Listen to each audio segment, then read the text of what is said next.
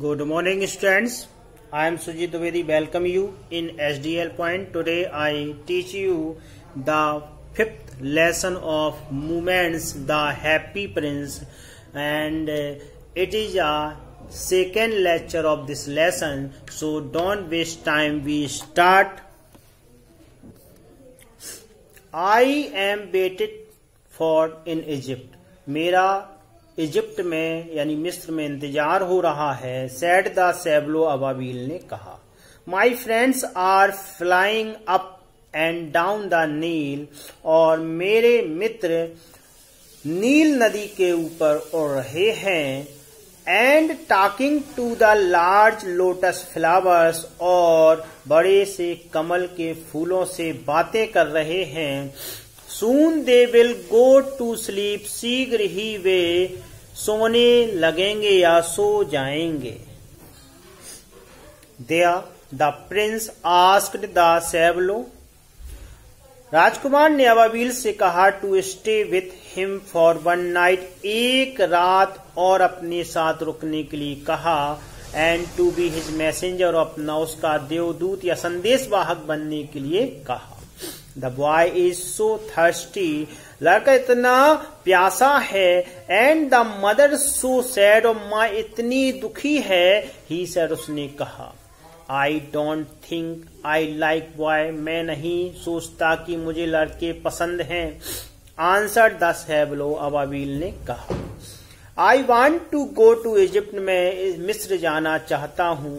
But the happy prince looked so sad लेकिन राजकुमार, प्रसन्न राजकुमार इतना दुखी प्रतीत हो रहा था दैट की the little swallow was sorry और छोटे अबाबील को बड़ा कष्ट हुआ। It is very cold here यहाँ बहुत ठंड है। ए ही सैड उसने कहा but he agreed to stay with him for one night लेकिन वह एक रात रुकने के लिए एंड बी हिज मैसेंजर उसका संदेश वाहक बनने के लिए रुकने, क्या हो गया? सहमत हो गया या तैयार हो गया?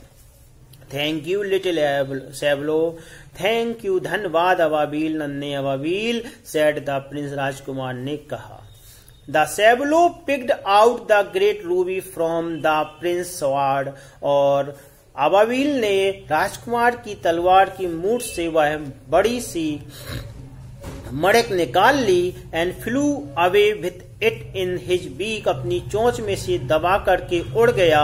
ओवर द रूप छत के ऊपर से उड़ गया। ऑफ़ द टाउन कस्बे के छत से ऊपर से उड़ गया। He passed by the cathedral tower Y गिरजा घर के स्तंभ के ऊपर से गुजरा, के पास से गुजरा।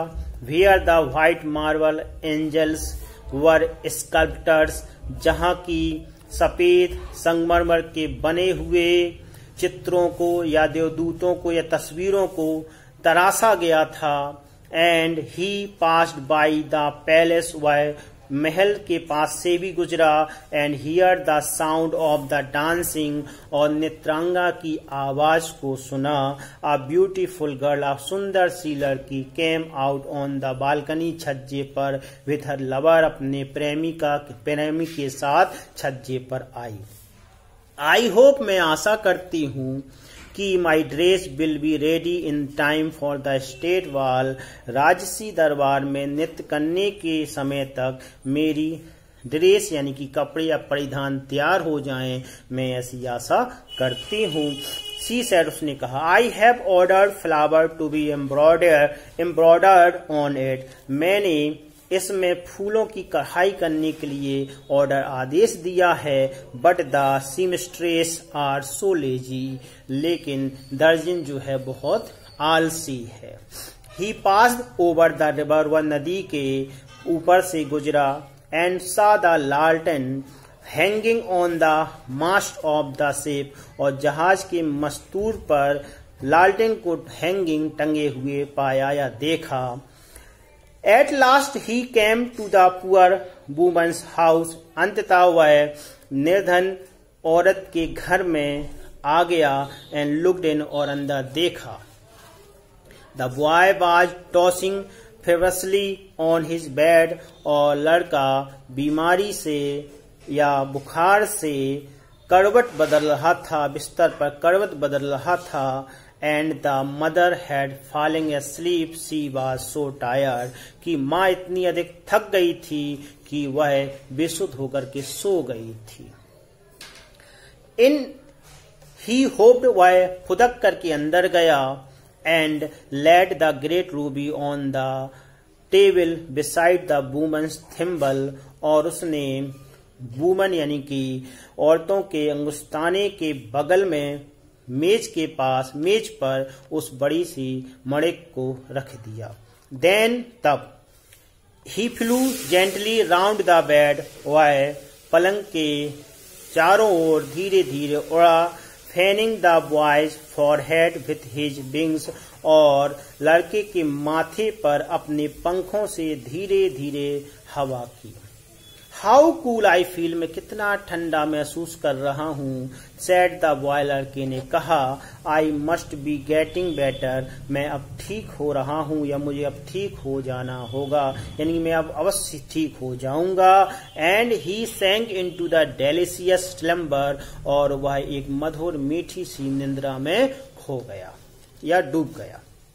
Then the swallow flew back to the happy prince तब अबाबील वापस राजकुमार के पास आ गया and told him what he had done और उसने जो कुछ किया ही टोल्ड हिम उसने उसे बताया इट इज़ क्यूरियस बड़ा विचित्र है ही रिमार्कड उसने कहा but I feel quite warm now अब मैं काफ़ी गर्म महसूस कर रहा हूँ आल दो इट इज़ सो कोल्ड यद्यपि यहाँ बहुत ठंड है.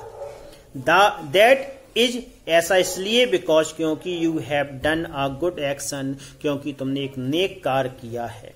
सेट द प्रिंस राजकुमार ने कहा and the little swallow began to think और छोटा सा सोचने लगा एंड देन फेल असली वह निंद्रा में खो गया।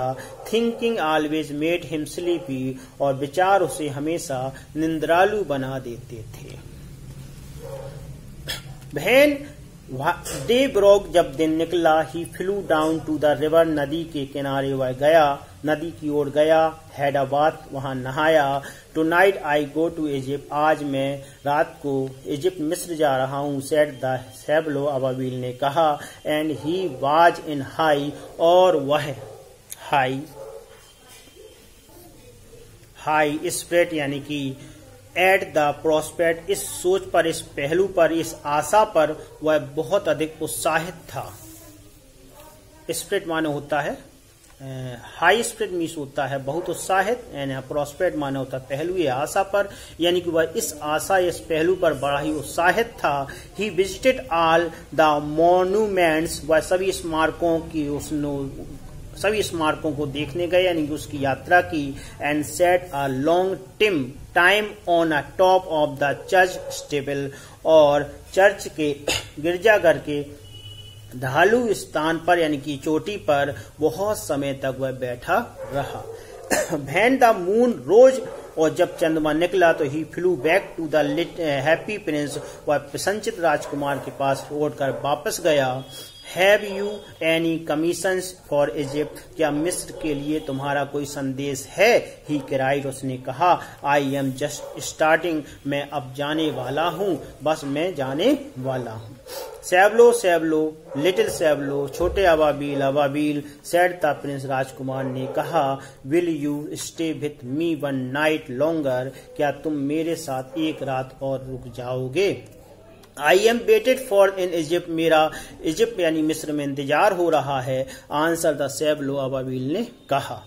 Swallow swallow little swallow said the prince राजकुमार ने कहा अबाबील अबाबील छोटे अबाबील फार अभी दूर अक्रॉस द सिटी शहर के पार I see a young man in garret अटारी में मैं युवक को देख रहा हूँ।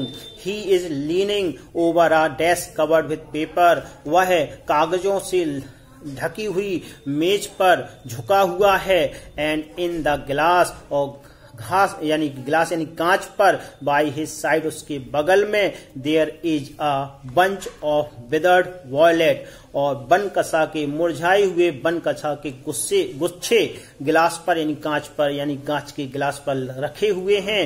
हिज हेयर इज़ ब्राउन उसके बार बहुत ही भूरे हैं एंड ग्रिप्स और सूखे सूखे से हैं। And his lips are red as pomegranate और उसके होंठ पॉम ग्रेनेट किसके? अनार की तरह लाल हैं and he has a large and dreamy eye उसकी बड़ी बड़ी और स्वप्निल सी आँखें हैं।